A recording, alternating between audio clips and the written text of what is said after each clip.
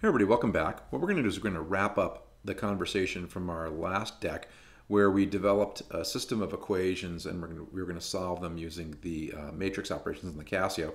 And we'll jump right in and show you exactly how that works. So these were the equations that we had. Um, we were going to solve for the current in our matrix by uh, taking matrix A, inverting it, and throwing that into matrix B, and we're going to come up with some answers for the i's. So let's go ahead and check that out and, uh, and actually see what that looks like.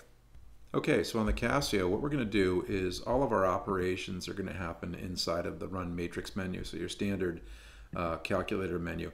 And I prefer to do this through the math menu. I think it's a tad faster.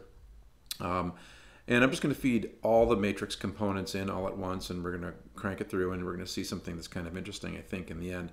Um, so I'm going to select the math submenu, that's F4. I'm going to cruise over to F1 to get the matrix submenu inside the math submenu.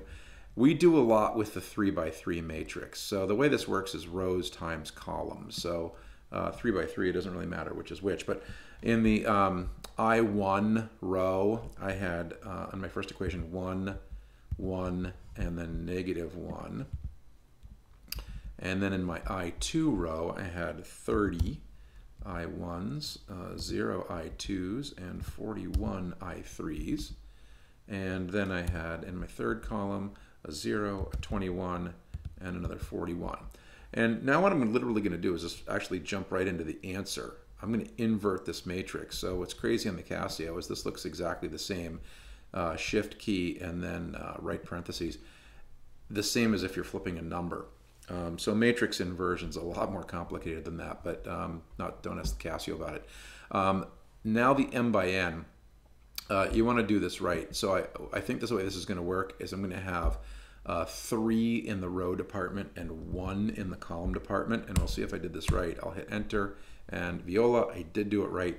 Uh, and what I've got now is uh, the A matrix being inverted into the B matrix, which was 0. These are just my constant numbers, uh, 45 and 125. Okay, and pop out there and hit enter, and then I get a fraction of all things, if you could believe this. What a crazy thing for a calculator to do. Hit the F to D button. This should all be decimals. Um, and this is interesting. So let's go write these down. So here's my I1, here's my I2, and here's my I3. Interesting. We're going to talk about that for a quick second. Okay, so what we've got now is an interesting little thing. Uh, we see I2, for example, the current through this loop right down here, 2.58 amps. I3, the one in the middle, uh, 1.73 amps. Uh, I1 minus 0.86. What does that mean? This is why Kirchhoff's laws for circuits are absolutely bomb-proof. As long as you're really consistent and you apply math rigorously, you will find out at the end of the day whether all of your assumptions that you made going into the circuit were right. And so in looking at the top loop, what I had assumed is that it worked this way, is that it flowed counterclockwise. In fact, it didn't work that way. And it doesn't matter. What I learned is that current I1 doesn't actually flow in this direction. Actually, current I1 flows in this direction. And it's equal 2.86 amps. So that's the self-correcting feature of the Kirchhoff's uh, law method of analyzing circuits. So as always, bring your questions to class. We'll see you soon. Take care. Bye-bye now.